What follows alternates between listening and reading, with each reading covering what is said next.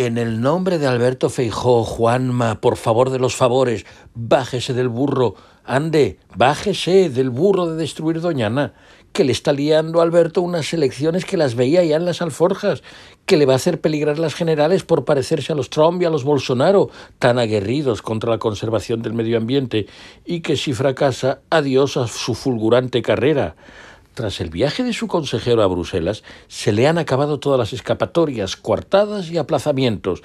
El comisario le ha dicho que estaba muy preocupado con su proposición de ley que postula legalizar pozos fraudulentos para riegos agrícolas fraudulentos y que si se aprueba tal cual degradaría aún más el humedal y provocaría efectos desastrosos. Eso ha dicho en el parque. Dijo usted, Juanma, que escucharía a Bruselas. Pues ya ha oído mejor una marcha atrás que empecinarse en cebar la campaña electoral de los rivales, que son casi todos. Solo hay una salida, retirar la proposición. Se lo ha dicho la vicepresidenta Teresa Rivera, y esta es de las que no se anda con chiquitas, que irá al Tribunal Constitucional y lo ilegal seguirá siendo ilegal. Más vale enrojecer a fondo una vez que un poquito todos los días.